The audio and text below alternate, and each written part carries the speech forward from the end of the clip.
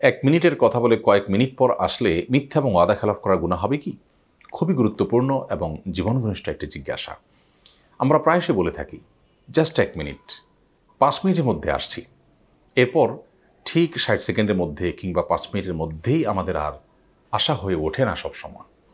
এক্ষেত্রে একজন ইমানদারের কাছে খুবই গুরুত্বপূর্ণ একটি প্রশ্ন হলো যে তিনি তার এই যে কথা যা বললেন তা রক্ষা করতে পারলেন না, তার বরখেলাফ হয়ে গেল। এক্ষেত্রে তিনি মিথ্যাবাদী হচ্ছেন কিনা ওয়াদা খেলাফকারী হচ্ছেন কিনা?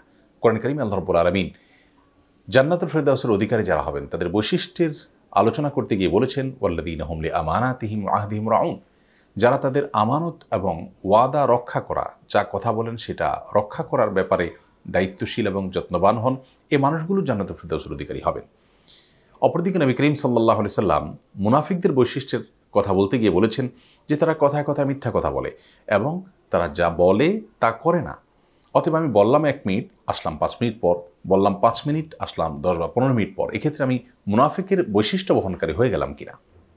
এ প্রশ্নের আমরা যে জবাব দিব, তার আগে মৌলিকভাবে একটি কথা বলে রাখি, তা হলো ইমানদার হিসাবে আমাদের সবসময় ওয়াদা রক্ষার ব্যাপারে সর্বোচ্চ যত্নশীল এবং দায়িত্ববান হতে হবে। আমরা যা বলব তা করব, যা করতে পারব না তা আমরা বলব না। এই বৈশিষ্ট্য আমাদের সবসময় ধরে রাখার চেষ্টা করতে হবে। যদিও এক মিনিটের কথা বলে জাস্ট এক মিনিট বলে যদি কেউ দুই তিন মিনিট পরে আসেন বা চার পাঁচ মিনিট পরে আসেন, তাহলে সেক্ষেত্রে তিনি আক্ষরিক অর্থে ওয়াদা খেলাফকারী এবং মিথ্যাবাদী হয়ে গেলেও আশা করা যায় এর কারণে তিনি আল্লাহ তালার কাছে মিথ্যাবাদী কিংবা ওয়াদা খেলাফকারের যে অপরাধ, সেই অপরাধের অপরাধী তিনি হবেন না।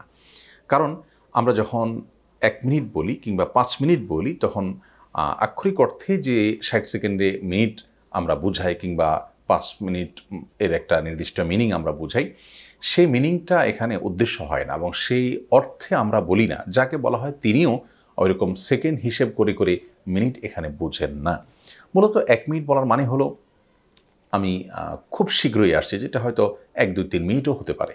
এটাকে আমাদের ওরফে, আমাদের সমাজে যিনি বলেন তিনি যাকে বলা হয় তিনি এবং অন্যরা, সাধারণত আমরা এ অর্থে বুঝে থাকি। অতএব এক মিনিট বলে যদি তিন মিনিট পর আসেন, তিনি সরাসরি মিথ্যাবাদী হয়ে গেছেন, ব্যাপারটি এমন বলা যাবে না। ঠিক একইভাবে পাঁচ মিনিট বলার পর কেউ যদি সাত আট মিনিট পরে আসলেন কিংবা দশ মিনিট পরেও আসলেন, তো সেক্ষেত্রেও তাকে সমাজের মানুষ মিথ্যাবাদী মনে করে না।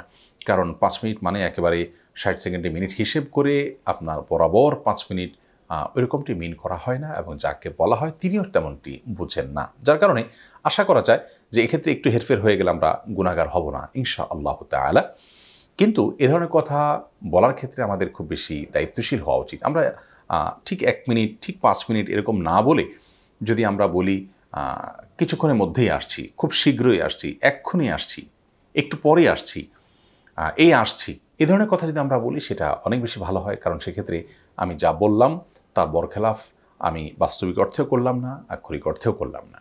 বিধায় ইমানদার হিসাবে আমরা যা বলব প্রত্যেকটা কথাই হতে হবে যথেষ্ট মেপে ঝোপে। বললাম এক মিনিট, আসলাম অনেক পর, অনেক সময় দেখা যায় অনেকে এক মিনিট বলে আপনার এক ঘণ্টা পরে আসছেন, আধা ঘণ্টা পরে আসছেন। তো এটা অবশ্য সবার কাছেই আপনার মিথ্যা এবং ওয়াদা খেলা হিসাবে গণ্য। কারণ কেউই এক মিনিট বলতে এক ঘন্টাকে বা আধা ঘন্টাকে বোঝান না সচরাচর।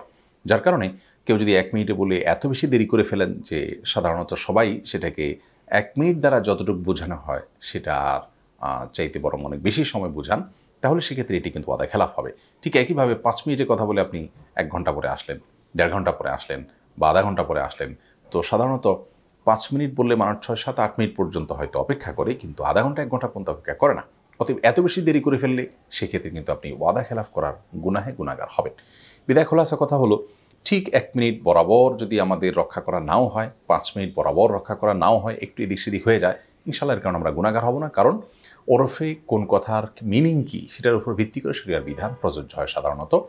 যার কারণে এখানে আমরা ছাড় পাবো ইনশাল্লাহ একটু এদিক সেদিক হলে। কিন্তু যদি অনেক বেশি হয়ে যায়, তাহলে সেক্ষেত্রে আমরা ওয়াদা খেলাফকারী হব এবং মিথ্যাবাদী হব। মুনাফেকের দুই, দুইটি মার্কা একসঙ্গে আমাদের মধ্যে চলে আসবে।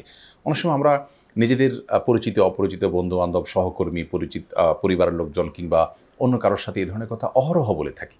তো এই ধরনের কথা বলতে গিয়ে যে আমরা কাবিরাগুনা করে ফেলছি বা আমি মিথ্যাবাদী হয়ে যাচ্ছি বা আমি আপনার ওয়াদা খেলাফকারী হয়ে যাচ্ছি, সেটা আমরা অনেক সময় খেয়াল করি না। বিধায় বিষয়গুলো আমরা লক্ষ্য করব যে আমি কারোর সাথে ওয়াদা করে যেন ওয়াদাটার বড় খেলাফ না করি এবং মিথ্যা প্রতিশ্রুতি যেন মানুষকে না দিই। কত মানুষ আছেন যে এক মিনিট পর আসছি এ কথা বলে আর বছরকে বছর চলে গেছে আর তার আশা হয়নি।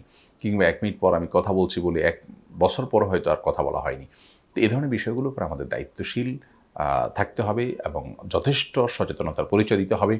আর একটু এদিক সেদিক হলে কোনো অসুবিধা নেই, যেটি আমরা একটু আগে বললাম। আল্লাহ আমাদেরকে সব ক্ষেত্রেই কোরআন এবং সুন্নাকে অক্ষরে অক্ষরে মেনে চলার তৌফিক দান করুন। একজন ইমানদারের যে বৈশিষ্ট্যগুলো আমাদের মধ্যে থাকা উচিত, সেগুলো যেন আমরা ধরে রাখতে পারি। আমাদের কথা এবং কাজ যেন একরকম হয়, সে বিষয়ে আল্লাহ আমাদেরকে দায়িত্বশীল হওয়ার তফিক দান করুন।